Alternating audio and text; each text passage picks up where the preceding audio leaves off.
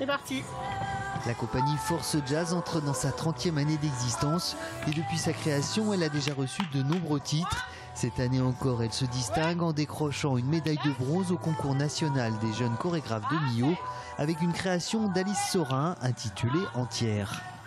Sincèrement, je pense qu'on s'y attendait pas forcément. On était Déjà, j'étais super contente qu'on puisse aller tout ensemble à Millau avec Séverine, avec les filles, qu'on puisse vivre ça tout ensemble, c'était déjà super. Et c'était rencontrer d'autres compagnies, rencontrer un jury qui donne des retours. Et après, c'est vrai que la médaille de bronze, c'est juste nous dire euh, qu'on est dans la bonne direction en fait. La compagnie avait déjà tenté l'aventure il y a trois ans, mais avec moins de succès. Cette année, le Quatuor a su toucher le jury pour le plus grand bonheur de ses danseuses. On était toutes les deux déjà aussi il y a trois ans au même concours à Millau.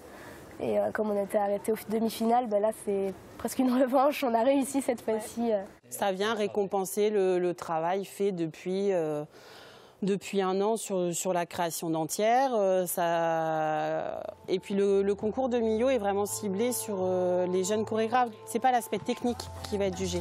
Ça va être l'écriture chorégraphique, ça va être la composition, ça va être l'interprétation des danseurs. Donc c'est le propos chorégraphique aussi qui est mis en avant.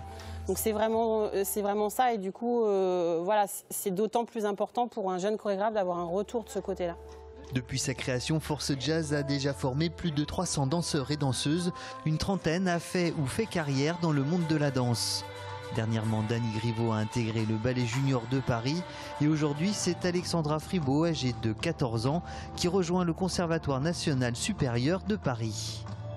Côté concours, la compagnie est également sélectionnée pour participer aux rencontres chorégraphiques régionales qui se dérouleront le 8 mai prochain. Parallèlement, le spectacle annuel se prépare avec cette année beaucoup de surprises. Et oui, 30 ans, ça se fête.